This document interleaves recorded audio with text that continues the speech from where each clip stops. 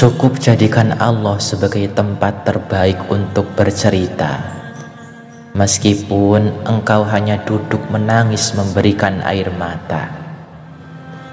Pada dasarnya memang hanya Allah lah yang bisa mengubah apa pun yang ada pada kita. Buruk berubah menjadi baik karena Allah. Allah punya hidayah yang diberikan kepada hamba yang ia kehendaki. Allah juga bisa memperbaiki apa pun yang rusak. Allah bisa mengubah, memperbaiki, memperindah hidup seseorang.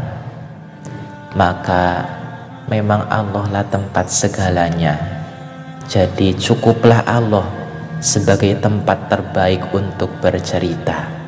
Perihal dengan manusia, kita boleh bercerita, tapi sewajarnya saja. Karena tidaklah manusia itu mampu mengubah apa pun yang kamu rasa, derita menjadi bahagia itu tidaklah bisa manusia lakukan. Manusia hanya bisa mendengarkan, dan membantu sesuai yang ia mampu.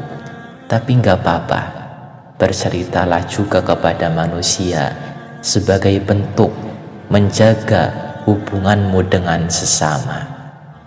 Supaya kamu dengan Allah, kamu dengan manusia, kamu dengan sesama ciptaannya Allah Ta'ala bisa berhubungan dengan hubungan yang baik.